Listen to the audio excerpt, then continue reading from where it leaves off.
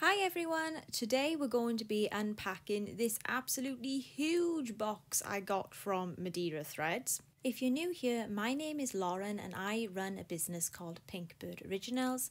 It's an embroidery business, I work from home, and so this box is absolutely stuffed with all of the essential things all of the consumables that I need to run my business. A few people have asked about what products I use, and I thought this would be a good opportunity to show everyone. The total value of this order came to about £500, not including VAT.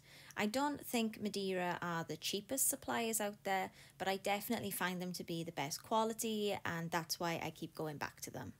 As soon as I opened the box, I actually remembered that I forgot to order something. I was meant to order needles with this order, but uh, that slipped my mind. The whole reason I buy in bulk is to get uh, free postage. Um, so I couldn't just buy needles individually because I wouldn't qualify for the three free postage. So I'll have to talk about needles in a different video. But yeah, just removing the um, paper packaging. I always keep this. I find it's really good uh, packing material.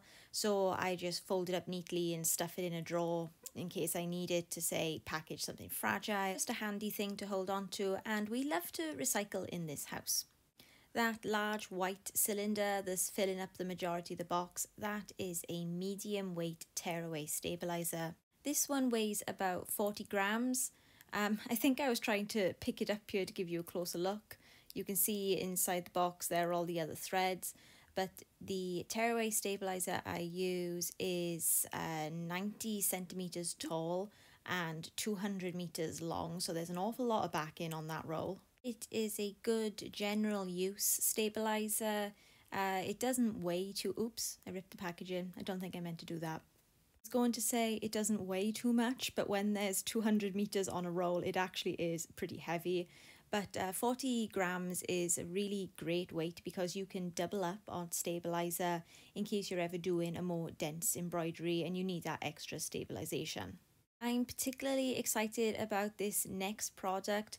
This is the body building foam you use for 3D and puff embroidery. I opened the packaging and it literally smelled like a new car and I absolutely loved the smell. I don't use this stuff often but I'm planning on making a video all about 3D and puff embroidery and also embroidering on hats. This is 3 millimeter flexible foam and yeah I'm just very excited to use this. I've got a lot of ideas for my own kind of branded merch that I want to make ordered it in white as well, but the foam comes in all different colours, so you can kind of match the colour of the foam to the top thread. 3D embroidery is really popular at the minute, and out of all the stuff I ordered today, that was what I was most excited about getting my hands on. Then I decided it would be easier to take everything out of the box first before I started uh, talking about all the other things I bought. But because I am actually a gremlin sized person and this box is absolutely, absolutely huge, uh, this was much more tricky than I imagined. Um, the box was really deep and I didn't have the common sense to just tip it up and pull everything out but it literally feels like Christmas morning. I'm pulling so many packets out of this box and they're all full of lovely colour threads.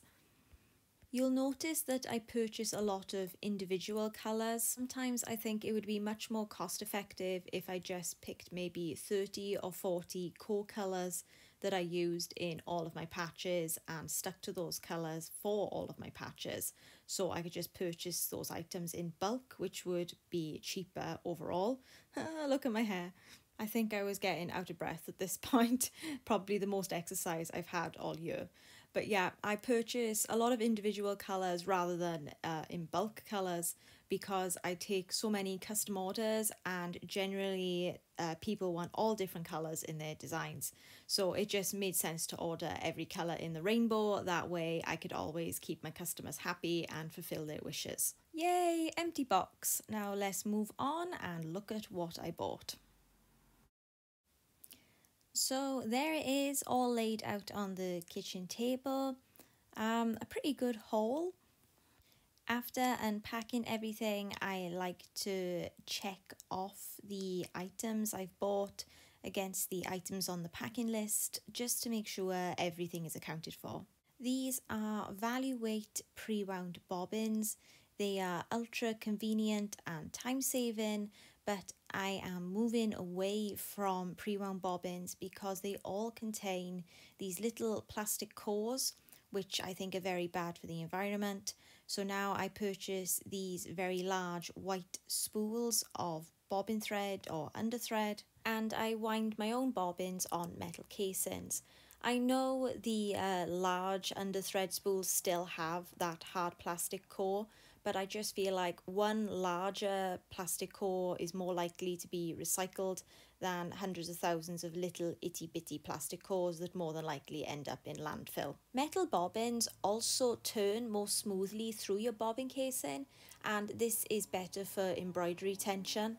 The um, cardboard sided bobbins sometimes have like a little bit more friction, and you can see sometimes on the underneath of your embroidery there's a lot more push and pull going on. Next, I do sometimes bulk buy on the colours I use a lot of. These are 5000 metres of Madeira Classic threads. Uh, it's a viscose thread. All of the threads I use are Madeira Classic. I'll show the size comparison between one of these 5000 meter spools and a 1000 meter spool in a minute. Did the math and I'm not sure if I'm wording this correctly, but if you buy the 5000 meter spools, you're basically saving a fifth of the price than if you purchased five individual 1000 meter spools. So it's better value to buy the 5000 meters if you can. Now on to the fun part, it's time to open up all of these boxes which contain um, 1000 meter embroidery spools and make sure that all of the pretty colours match what is on the packing sheet. Not my proudest moment in the background there, that nearly ended in disaster. So like I already said, I only use Madeira Classic Cottons, my embroidery. That's my favourite colour green there that I just showed you. I get the best price I can from these cottons by purchasing directly from the manufacturer, not through a third party. And this is the 1000 metre spool versus the 5000 metre spool. Uh, obviously, the 5000 meters is much thicker and it also lasts so much longer as well. And for my own enjoyment, here are all the pretty colours laid out on the table. Aren't they absolutely gorgeous and vibrant? This is exactly why I love Madeira's classic cottons. The colours just really do pop and they are my favourite things. Laying them out like this also makes it much easier for me to compare to my packing list because I use these cottons so often now I can basically remember all the numbers more or less. Madeira have never actually made a mistake packing my order, but I still like to do this just in case there's something that has been missed off the invoice. I can chase them up straight away and have that cotton sent out to me. After checking the invoice, it's time to refill my thread display. This is definitely the most satisfying part of the process. I'm not going to spend too long showing you this because obviously you get the idea. I'm just filling in the gaps. My most used colours I usually order a few duplicates of. The duplicates don't fit on the thread display because there's only one of each colour. Um, so those duplicates usually stay in their boxes. Even though it did take me a long time to amass all of these threads, I do think it's worth having one of every colour. But now I feel confident that I can almost colour match anything because as you can see, Madeira has such a vast colour range. It gives me a lot of confidence when working on custom orders. The only gaps left are from colours that are already threaded up to embroidery machines. And that concludes today's YouTube video. Um, I hope you enjoyed it. I hope it gave you a little bit of insight into the products I use. Um, I will be doing more in-depth videos in the future on how I use my products, uh, particularly the backing material. I'm going to do another video all about backing materials, what type of stabilizers to use and when. Upcoming videos in the immediate future will be embroidering on ball caps because it's summertime I'm also using puff embroidery and puff embroidery on ball caps and decided whether I'm going to do just one big video or two individual videos. Uh, let me know which you would prefer in the comments below. Um, I know sometimes I tend to get a little bit carried away because one point leads to another and the video ends up being like 20 minutes long. So let me know if you prefer like bite-sized content over long videos. If you prefer long videos, that's cool as well because I, to be honest, I seem to naturally gravitate towards doing that anyway.